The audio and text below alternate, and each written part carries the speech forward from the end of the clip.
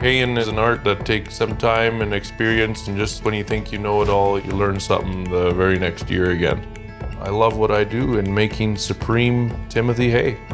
My job is to help connect pet parents with their small animals and keep their small pets happy and healthy. We're all about putting up good quality Supreme hay.